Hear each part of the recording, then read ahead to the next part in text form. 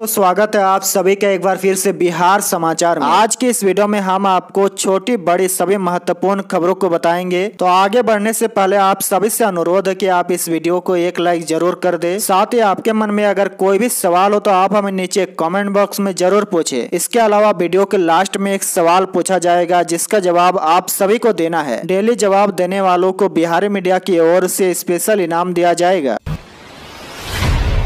आज की पहली खबर, बिहार में अब बिना बीमा वाले वाहनों से दुर्घटना हुई तो नीलाम होंगे। परिवहन विभाग ने जारी किया आदेश। जी हाँ, बिना बीमा कराए गाड़ी चलाने वाले वाहन मालिक अब सावधान हो जाए। बिना बीमा वाली गाड़ियों से अगर सड़क दुर्घटना हो जाए और इसमें किसी की मौत या कोई गंभीर रूप से घायल हो जाए तो ऐसी गाड़ियों को सरकार नीलाम कर देगी।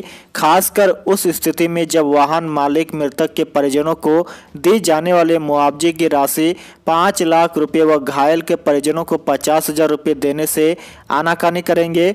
परिवहन विभाग ने इस बाबत आदेश जारी कर दिया है और यह नियम राज्य में तत्काल प्रभाव से लागू है।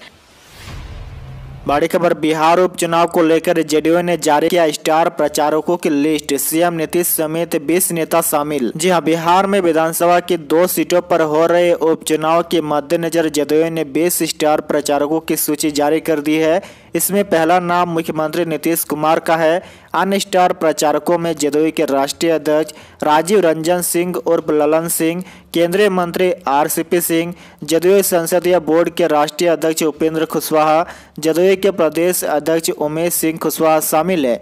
इसके साथ ही मंत्री विजय कुमार चौधरी, सांसद रामनाथ ठाकुर, मंत्री अशोक कुमार चौधरी, मंत्री संजय कुमार झा, सांसद मोहम्मद अली अशरफ बातमी, मंत्री लेसी सिंह, पूर्व मंत्री महेश्वर हजारी मंत्री मदन सहनी, मंत्री सुनील कुमार, मंत्री जयंत राज, सांसद सुनील कुमार पिंटू, पूर्व मंत्री नरेंद्र नारायण यादव, पूर्व मंत्री विद्यासागर निषाद, विधान पार्षद देवेंद्र चंद्र ठाकुर, विधान पार्षद रत्नेश सदा को भी स्टार प्रचारकों की सूची में शामिल किया गया है। बड़ी खबर, नीतीश सरकार का एक और बड़ा फैसला। अब सभी जिलों में खुलेगा पिछड़ा वर्ग कन्या आवासीय स्कूल। महिला सशक्तिकरण के लिए पहले से प्रतिबद्ध नीतीश सरकार ने बालिकाओं के लिए एक और बड़ा कदम उठाया है। स्कूली छात्राओं के लिए बड़ा फैसला करते हुए मुख्यमंत्री नीतीश कुमार ने अब राज्य के सभी जिलों में पिछड़ा वर्ग कन्या आवासीय स्कूल खोलने का फैसला किया है। साथ ही मुख्यमंत्री ने जननायक कर्पूरी ठाकुर कल्याण आवासीय के निर्माण कार्य में तेज़ी लाने का भी निर्देश दिया है। मुख्यमंत्री नीतीश कुमार ने शनिवार को पिछड़ा, अति पिछड़ा वर्ग कल्याण विभाग की समीक्षा बैठक के दौरान अधिकारियों को कई निर्देश दिए हैं। बड़ी खबर धोनी की हैट्रिक, चोको ने सीएसके को नौवीं बार फाइनल में पहुँचाया। हार कर भी दिल्ली के पास फाइनल में जगह बनाने का मौका। जी हाँ, चेन्नई सुपर किंग्स ने पहले क्वालिफायर में दिल्ली कैपिटल्स को चार विकेट से हरा दिया। अंतिम ओवर में सीएसके को तेरह रनों की ज़रूरत थी और गेंद टॉम करन के हाथों में थी। चेन्नई के कप्तान एम एस धोनी ने लगातार तीन चौके लगाते हुए टीम को फाइनल में पहुँचाने का काम किया। चेन्नई नौवीं बार आईपीएल फाइनल में पहुँची है। बड़ी खबर, अक्टूबर के चौथे सप्ताह से आएगी गुलाबी ठंड। गया और मोतिहारी से हो रही है मानसून की वापसी। पश्चिमी हवाओं से बदलेगा मौसम। जी हाँ अक्टूबर माह के चौथे सप्ताह से गुलाबी ठंड का एहसास होने लगेगा। गया और मोतिहारी से मानसून की वापसी होने से अब ठंड को लेकर संभावना बनने लगी है। मानसून की वापसी होते ही पश्चिमी हवाएँ चलनी शुरू होगी, जिससे सुबह शाम की ठंड शुरू हो जाएगी। मौसम विभाग के मुताबिक मानसून रेखा गया, मोतिहारी अबिकापुर, इंदौर, गांधीनगर होते हुए पोरबंदर की तरफ़ जा रहा है। इससे बिहार के अधिकांश हिस्से में मौसम शुष्क रहने का अनुमान है। बिहार ने कोविड टीकाकरण में हासिल किया बड़ा मुकाम, देश में हासिल किया छठा स्थान। जी हाँ, बिहार शनिवार यानी 9 अक्टूबर को कोरोना टीकाकरण अभियान में 6 करोड़ डोज टीकाकरण वाला राज्य बन गया। राष्ट्रीय स्तर पर बिहार छह उन राज्यों में शामिल हो गया, जहाँ पर 6 करोड़ से अधिक डोज दिया गया है। आपकी जानकारी के लिए बता दें कि उत्तर प्रदेश में ग्यारह दशमलव उनचास करोड़, महाराष्ट्र में आठ दशमलव इकहत्तर करोड़, मध्य प्रदेश में छह दशमलव इक्यावन करोड़ गुजरात में छः दशमलव इकचालीस करोड़, पश्चिम बंगाल में छः दशमलव सैंतीस करोड़ और बिहार में छह दशमलव ज़ीरो दो करोड़ टीका देने वाला राज्य भी बन गया है। राज्य में 16 जनवरी से टीकाकरण अभियान आरंभ किया गया था। राज्य में करीब नौ महीने में छह करोड़ डोज वैक्सीन देने का लक्ष्य पूरा कर लिया गया है। स्वास्थ्य मंत्री मंगल पांडे ने कहा कि जनता के सहयोग से राज्य में कोविड 19 टीकाकरण का आंकड़ा छह करोड़ के पार हो गया है। दूसरी ओर देश ने पंचानबे करोड़ टीकाकरण के लक्ष्य को किया हासिल। जल्द पूरा करेंगे 100 करोड़ का लक्ष्य। जी हाँ भारत ने पंचानबे करोड़ कोविड वैक्सीन की खुराक के लक्ष्य को पूरा किया है। केंद्रीय स्वास्थ्य मंत्री मनसुख मांडविया ने कहा कि आने वाले दिनों में देश 100 करोड़ डोज लगाकर एक नया इतिहास बनाएगा। साथ ही उन्होंने कहा कि देश में वैक्सीन की ज़रूरत पूरी हो जाने के बाद हम वैक्सीन को एक्सपोर्ट करेंगे।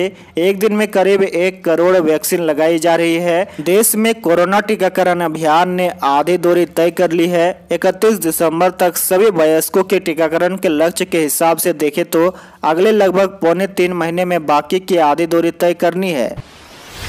22 अक्टूबर को पटना आएँगे कन्हैया। कांग्रेस ने कहा, उपचुनाव में दोनों सीटों पर पार्टी ने युवा उम्मीदवार दिए हैं। कन्हैया कुमार भी युवा सीपीआई से कांग्रेस में गए युवा नेता कन्हैया कुमार 22 अक्टूबर को पटना आ रहे हैं। कांग्रेस में शामिल होने के बाद पहली बार वह पटना आ रहे हैं। कांग्रेस के प्रदेश प्रभारी भक्त चरण दास ने राजद को कुशेश्वर स्थान से उम्मीदवार वापसी की चेतावनी दी, लेकिन अब तक इसका कोई असर राजद पर नहीं पड़ा है। कुशेश्वर स्थान में मुसहर जाति के लोगों की संख्या ज़्यादा है, इसीलिए राजद ने वहाँ से गणेश भारती को उम्मीदवार बना दिया है। बता दें कि कांग्रेस ने तारापुर से राजेश मिश्रा और कुशेश्वर स्थान से अतिरेक कुमार को प्रत्याशी बनाया है। वहीं राजद ने कुशेश्वर से गणेश भारती और तारापुर से अरुण शाह को टिकट दिया है।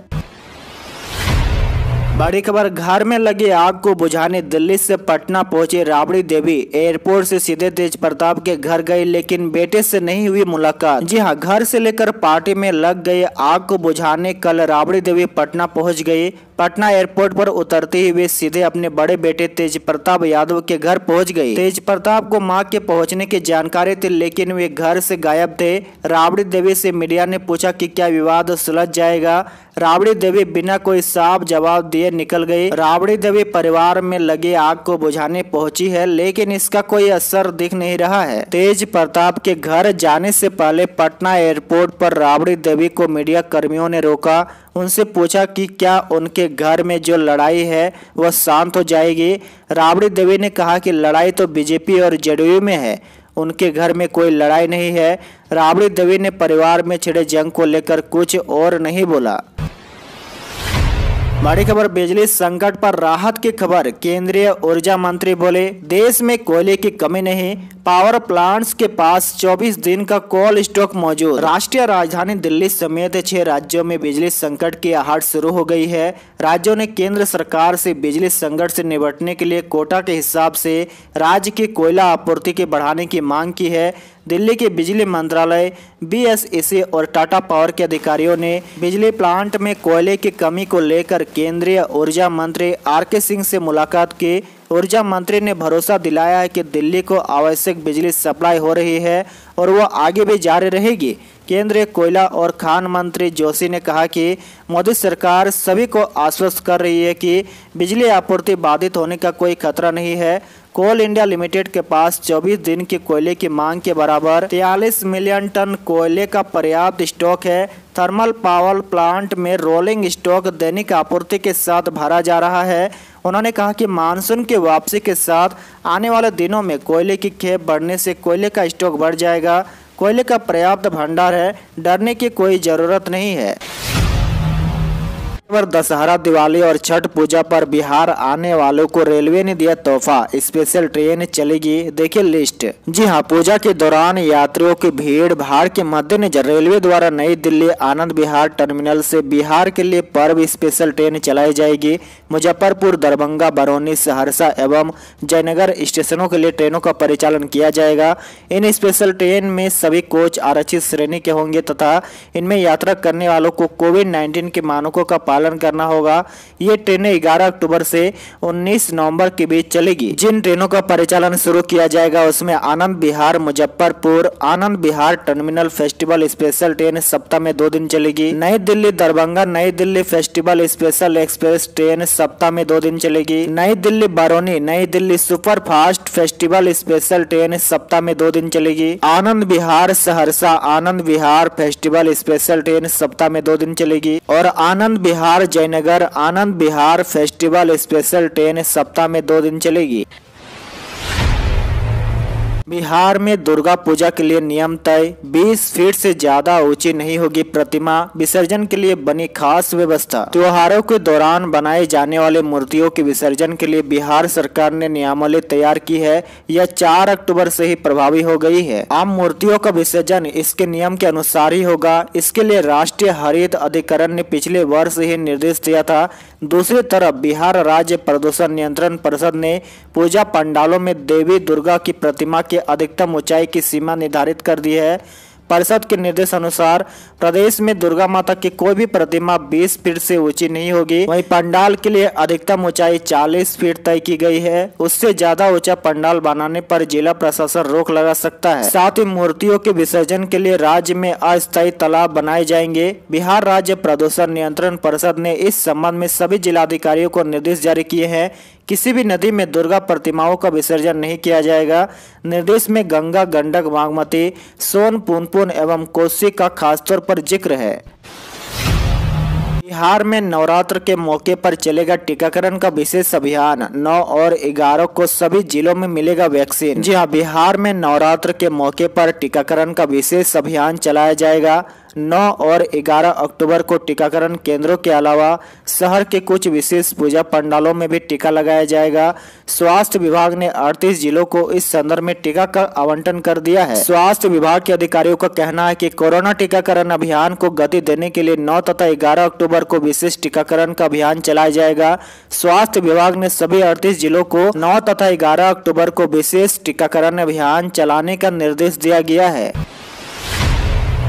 बड़ी खबर, इंटर पास अविवाहित लड़कियों के लिए खुशखबरी। खाते में जल्द इतने रुपए भेजेगी बिहार सरकार। जी हाँ राज्य में इंटरमीडिएट पास अविवाहित लड़कियों के लिए अच्छी खबर है। सरकार मुख्यमंत्री कन्या उत्थान योजना के तहत चार लाख बारह हज़ार चार सौ उनहत्तर इंटर उत्तीर्ण अविवाहित लड़कियों को बढ़ी हुई प्रोत्साहन राशि पच्चीस पच्चीस हज़ार रूपए का भुगतान अगले सप्ताह तक सुनिश्चित करने जा रही है। यह राशि डीबीटी के माध्यम से उपलब्ध होगी। इसके लिए शिक्षा विभाग ने 400 करोड़ सभी जिलों को जारी किया है। इसी तरह सरकार ने मुख्यमंत्री कन्या उत्थान योजना के तहत एक लाख चौबीस हज़ार स्नातक पास लड़कियों को प्रोत्साहन राशि पचास पचास हज़ार रूपए का भुगतान की कार्रवाई की जा रही है। अगली बड़ी खबर, महापर्व छठ तक बिहार के ग्रामीण इलाकों में 500 नए एंबुलेंस की सुविधा, परिवहन मंत्री ने की घोषणा। जी हाँ मुख्यमंत्री ग्राम परिवहन योजना के तहत इस साल छठ तक ग्रामीण इलाकों में 500 नए एंबुलेंस की सुविधा देने की तैयारी है। परिवहन मंत्री शीला कुमारी ने बुधवार को वीडियो कॉन्फ्रेंसिंग से ली जा रही समीक्षा बैठक में अधिकारियों को इस दिशा में काम तेज करने का निर्देश दिया है। फ़िलहाल पहले चरण में योजना के तहत 500 लाभुकों को एंबुलेंस खरीद के लिए अनुदान दिया जाएगा।